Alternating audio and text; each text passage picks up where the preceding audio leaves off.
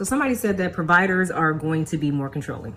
Yeah, probably goes with the territory for two reasons. One, a provider can probably get any woman he wants. So why would he want a typical woman that's for the streets? He's not going to go for that. He's going, he wants to upgrade. Okay, a woman that like to be at home. Okay, a mature, calm woman that ain't into running the streets no more.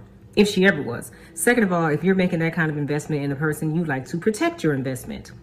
You can't protect your investment with some wild woman out in the streets, want to go on girls' trips and put all her business on on, on, on live and on the gram. You, you, you cannot. That's your investment walking around doing some wild shit. You can't put up with that.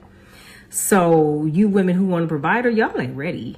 Y'all are not ready because you want to be out in the streets. So just be out in the streets. Don't worry about it. Save all the providers for me, okay? Because all I want is to be at home with a glass of champagne in my hand, you know, cooking my family some lobster tails and some filet mignon in an apron and nothing else.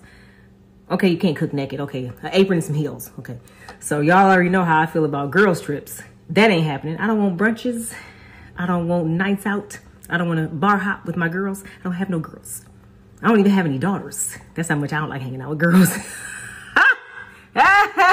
Give me a provider any day. Thank you.